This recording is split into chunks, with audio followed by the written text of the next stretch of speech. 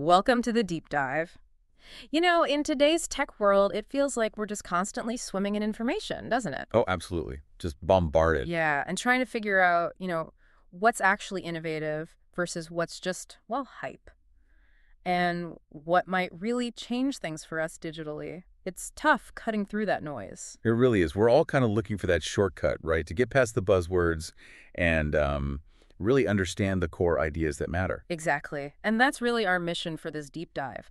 We're going to get into something pretty fascinating the Internet Computer Protocol, or ICP. Mm-hmm. And this isn't just about understanding some cutting edge tech, though it is that. It's also about pulling out, you know, universal lessons. How do these big, ambitious technologies actually fare in the real world? How do they succeed? Or sometimes why do they hit major roadblocks? Yeah, our goal is really to dissect the main innovations here, look at the practical uses, and also be uh, pretty candid about the challenges. Yeah. Any project trying to shake things up faces them. And we've pulled from, well, a whole range of sources, official reports, academic stuff, but also like real talk from places like Reddit, Industry Takes, Yeah. trying to get that full picture of what's happening at the uh, the bleeding edge here. Okay, so let's jump right in. Let's unpack the big vision first. Yeah. What is ICP fundamentally? Our sources say it's not a company. Right, not a company, it's a protocol. Think of it like um, a set of rules for a decentralized open network of computers all over the world. Okay.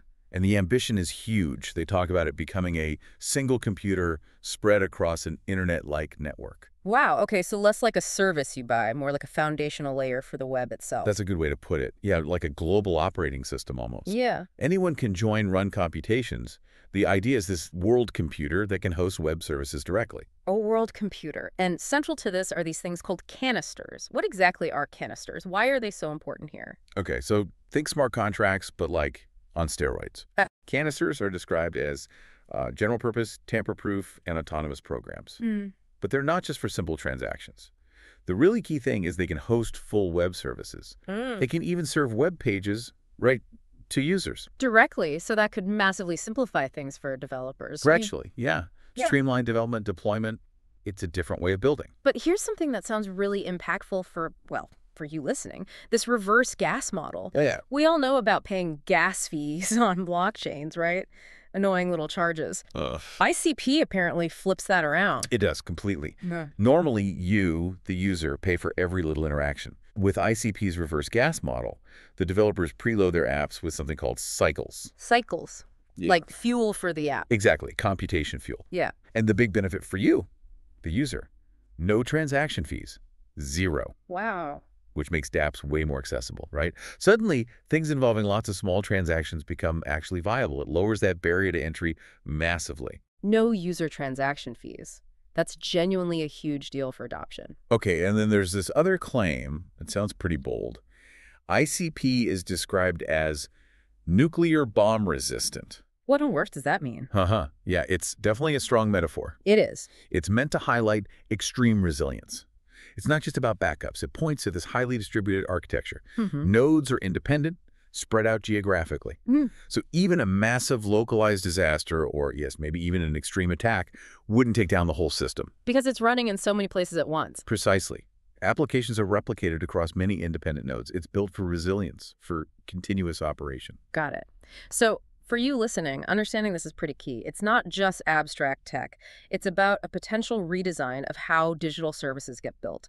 Maybe simpler for developers, cheaper for users because of no transaction fees, and built on this incredibly resilient base, a faster, cheaper, more robust internet, basically. That's the vision, yeah. Okay, let's shift gears a bit.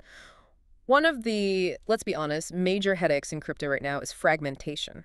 You've got all these different blockchains, kind of like isolated islands, right? Oh, absolutely. Walled gardens is the term you hear a lot. Yeah, and liquidity fragmentation. Money and activity trapped in silos that don't easily talk to each other. It's a critical problem. For all the innovation, the ecosystem is incredibly split up. We desperately need ways for these things to interact seamlessly without needing permission from some central party. And that brings us to ICP's chain fusion. Our sources are framing this as the answer, allowing direct, uh, bridge-free integration. Exactly. Bridge-free is the key phrase. Seamless interaction between blockchains like Bitcoin, Ethereum, Solana plan for next year too. Yeah, and the tech behind it is called chain key technology. instead of relying on those centralized bridges, which, let's face it, have been hacked numerous times. Dude. Chain Fusion uses advanced cryptography, things like threshold ECDSA and Schnorr signatures. Think of them as ways for ICP to securely speak the native language of other blockchains and sign transactions directly on those chains. Without a middleman. Without a risky intermediary, yeah.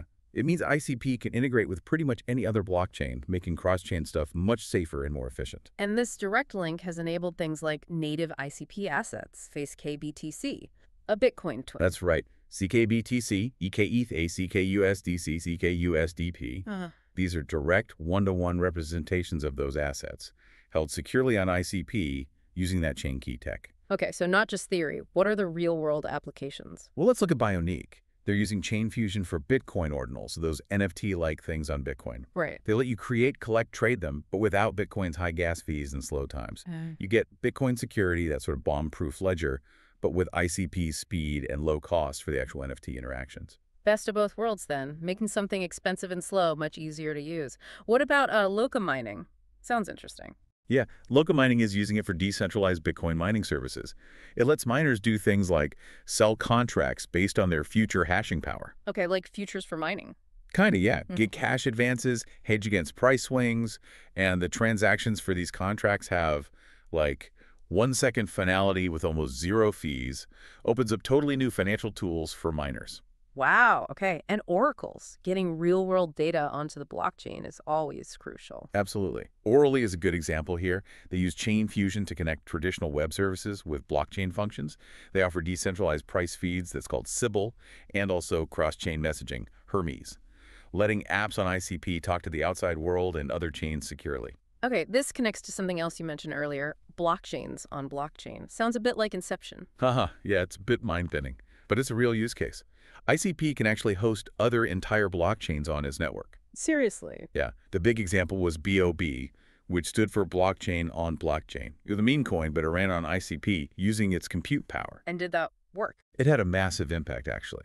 Our sources say it caused a 3,000% increase in ICP's cycle burn rate.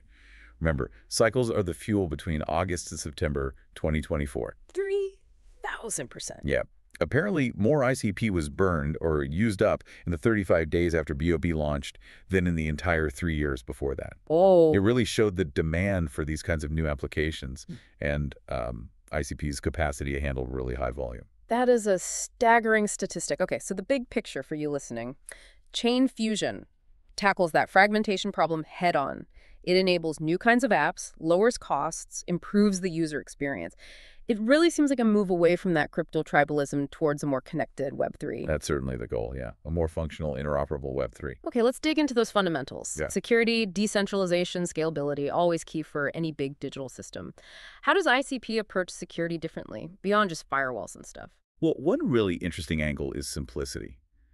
Building on traditional cloud setups, you know, AWS, Google Cloud, mm -hmm. It's complex. Right. Developers manage virtual private clouds, subnets, firewalls, lots of moving parts. Right, lots of places to make a mistake. Exactly. ICP aims to abstract a lot of that away. The deployment model is simpler, and the argument is this inherently leads to many fewer misconfiguration vulnerabilities.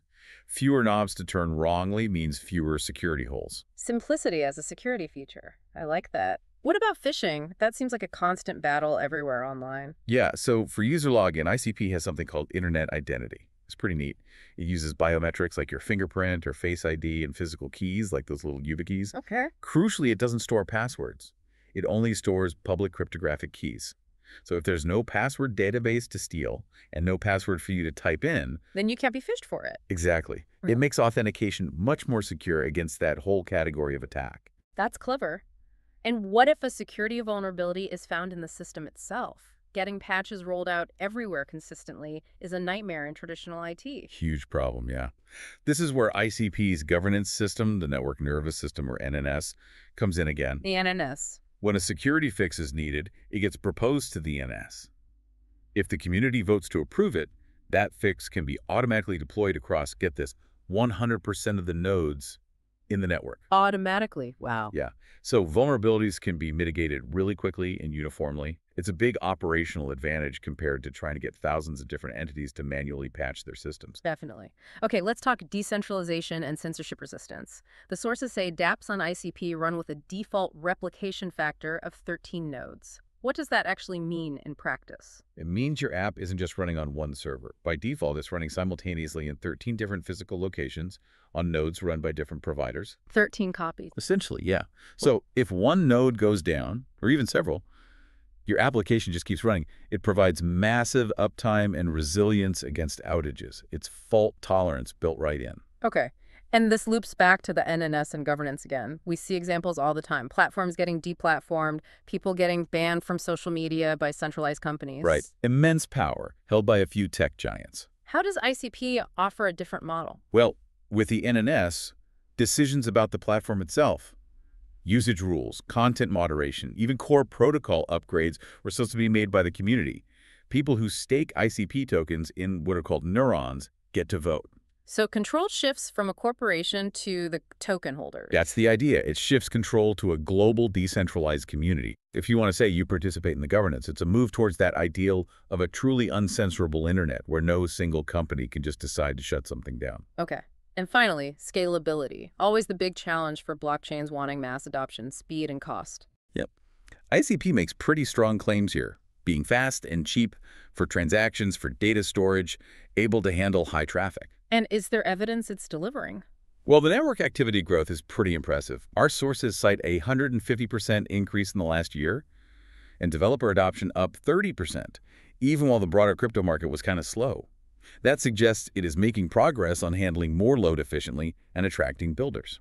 So putting it all together, for you listening, understanding these deeper architectural choices, the security model, the replication, the NNS governance, the scalability efforts, helps you judge which platforms might actually deliver on that Web3 promise of a more robust, secure, decentralized digital future. It's about how they're built. Exactly. It helps you see beyond the marketing claims. Right. Now, we've talked up the vision, the tech, but let's get real for a moment. Groundbreaking tech doesn't guarantee success. There are always hurdles.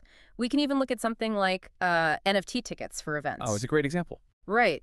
The idea had cool features, counterfeit-proof tickets, artists getting resale royalties. It sounds great on paper. Totally. Yeah. But they didn't really take off, did they? Not widely, no. And a big reason was user friction. Making people get a crypto wallet, understand gas fees, maybe, just for a concert ticket. It mm. was too much hassle. Yeah, too complicated. And then you had things like the FTX collapse, creating broader trust issues, which didn't help. Remember when even Coachella NFTs became inaccessible for a bit? Oh, yeah. It just shows that even brilliant tech has to be easy and trustworthy for people to actually use it. Absolutely. User experience is king. So applying that lesson, even for a project as ambitious as ICP, what kinds of real-world adoption barriers and criticisms have come up? Well, like any big tech push, it faces those classic technology adoption barriers, tech hurdles, financial questions, organizational challenges, even just psychological resistance to change. And ICP hasn't been immune. No, definitely not. And you see pretty frank discussions about this stuff on places like the DFINITY forums, which is, you know, healthy. What kinds of things are discussed? Well, there have been ongoing debates about perceived centralization. Critics might point to the early distribution of NNS voting power or the role of the DFINITY Foundation, although the network aims for increasing decentralization over time. Okay. There have also been accusations um, like claims of fake growth or suggestions that cycle burn rates were maybe artificially ramped up early on to help onboard node providers. Yeah. We also saw mentions in some discussions alleging SBF manipulation, Mm. Sam Bankman-Fried possibly impacting its initial price, though that's more market speculation than a tech critique. Right, market factors versus the tech itself. And just the general critique you sometimes hear, is it trying to solve all the world's problems in one blockchain?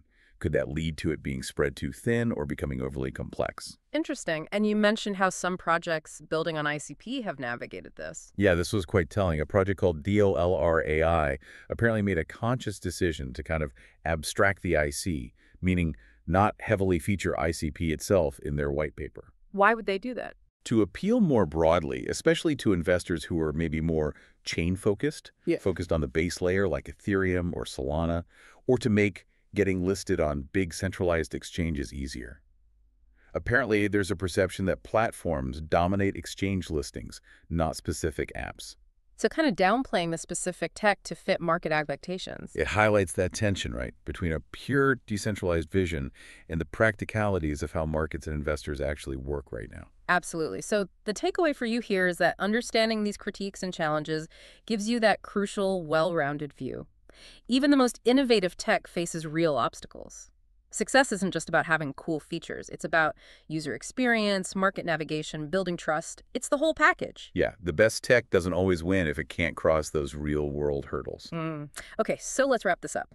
We've taken a pretty deep dive today into the Internet Computer Protocol. We looked at that huge ambition, the world computer idea. Mm -hmm. We explored the innovative chain fusion tech, aiming to connect blockchains without those risky bridges. And its unique approaches to some core challenges security through simplicity, decentralization via replication, and the NNS and its scalability efforts. All right. Understanding these pieces really gives you, we hope, a clearer view of how Web3 is evolving. It's all about trying to build a digital foundation that's potentially more resilient, more secure, more accessible. Pushing the limits of what a decentralized internet could actually look like. So here's a final thought to leave you with. As projects like ICP push these boundaries, enabling apps to run across chains, aiming for systems without central control points, what does that really mean for things like digital ownership? For our privacy, for the whole idea of censorship online? Yeah, it's a big question. This drive for a truly uncensorable internet forces us to confront some really complex issues around decentralized governance. Who makes the rules? Who's ultimately responsible when you have a global shared digital commons like this? Definitely something to think about. Thanks for joining us on the deep dive.